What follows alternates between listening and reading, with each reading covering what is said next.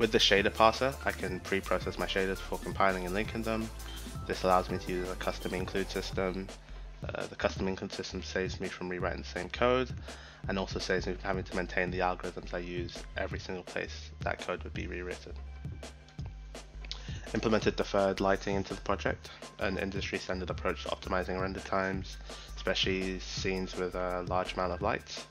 This is done by splitting your render passes up, creating a buffer called the G buffer, and doing a first pass where you store things like normals, frag positions, roughness, metallic, AO to textures, and then you do a lighting pass on a quad and feed this information to that so you only calculate the lighting for the pixels being displayed uh, as opposed to as opposed to calculating the lighting for every pixel on every object in the scene.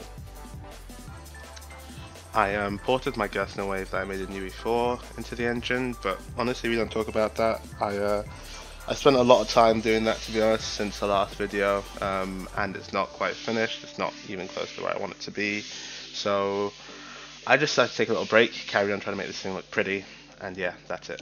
Upgraded my PBR algorithm to image-based lighting. Um, this will give us more realistic renders that will reflect the lighting from the our HDRI, which is our, our cube map, um, skybox kind of thing.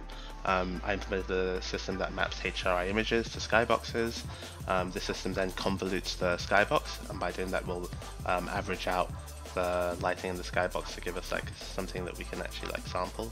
Um, we then sample this averaged out lighting, determine the lighting information for the rendering equation, and this whole thing isn't finished. I still need to do the specular for the image-based lighting system, and it's quite a sizable task. So hopefully, I'll give it. Uh, hopefully, once it's done, it'll give us some pretty good results.